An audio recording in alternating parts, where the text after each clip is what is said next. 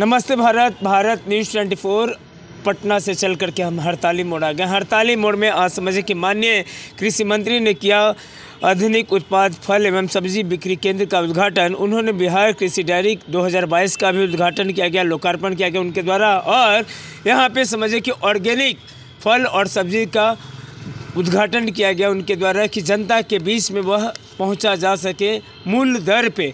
और सबसे पहले हम बात- करते हैं कि आज जो है नौ वर्ष में हम लोग आ गए हैं 2022 में आ गए हैं।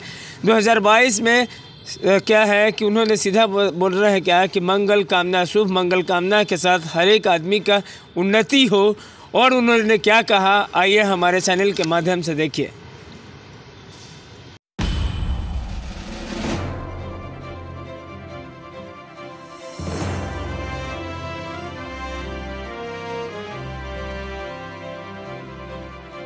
और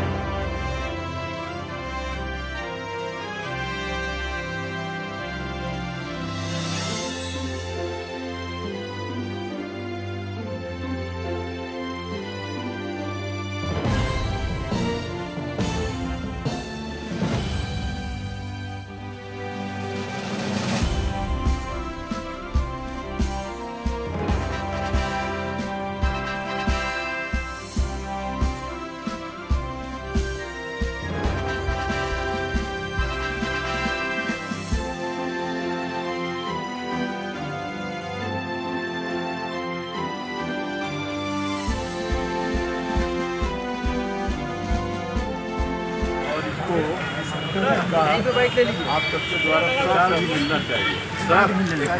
बोलिए। अच्छा रहेगा लोकेशन अच्छा। नहीं नहीं कोई बात नहीं धीरे से सब आओ। हाँ हाँ। आ जाइए सब आ जाओ उसके बाद हम शुरू करेंगे। सब आ जाओ भाई। ये सेंटर ऑफ़ एक्सीलेंसी है। हमारा चंडी में भी। हम लोग भी और ऑर्गेनिक उत्पादन कर रहे हैं। तो उन उत्पादनों को अधिक से अधिक लोगों के बीच में लोकप्रिय बनाना।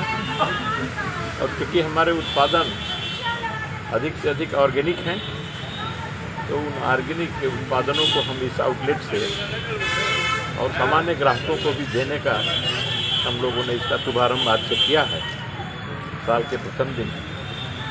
और इस आउटलेट का हम लोग आज उद्घाटन कर रहे हैं। और हमारी शुभकामना है। मंगल कामना है कि इसके, इसका अधिक से अधिक प्रचार हो। और हमारे सेंटर ऑफ़ एक्सीलेंसी पर भी लोग आएँ, लोग देखें, किसान भी देखें। इसका उद्देश्य भी यही है। और ऑर्गेनिक खेती का जो तौर तरीका है, किस प्रकार से उसकी खेती हम करें, उसको लोग जानें। अन्य जिलों में भी सर इस तरह का स्टॉल मिलेगा क्या लोगों को है कि यहाँ पर पौधे भी बहुत तरह के चाहेंगे, हम चाहेंगे कि आउटलेट और खुले तो हमारे उत्पादन पर वो निर्भर करता है, हमारा जितना उत्पादन होगा, उसके आधार पर हम तो चाहते हैं कि और कई सेंटर ऑफ़ एक्सीलेंसी हो, कई जिलों में हो, हम उसका विस्तार चाहते हैं तो उसके प्रयास में भी हम लोग हैं। हम लोग चाहेंगे कि प्रत्येक ज़िले में इस प्रकार का आउटलेट हो और इससे और प्रचार हो और लोग ऑर्गेनिक खेती अधिक से अधिक करें। हम चाहेंगे कि केमिकल फ्री जो उत्पादन है, खेती का, कृषि का, उसका लोग उपयोग करें, उसका प्रयोग करें, ताकि सभी स्वस्थ रहें, वायुमंडल, पानी, सब कुछ शुद्ध रहे। मिट्टी का और उसकी उर्वरा शक्ति भी बनी रहे तो हम उस वातावरण को अपने यहाँ बिहार राज्य में और किसी के द्वारा लाना चाहते हैं, बनाना चाहते हैं। यही हमारा प्रयास है। वर्ष के प्रथम दिन आप सबका अभिनंदन है।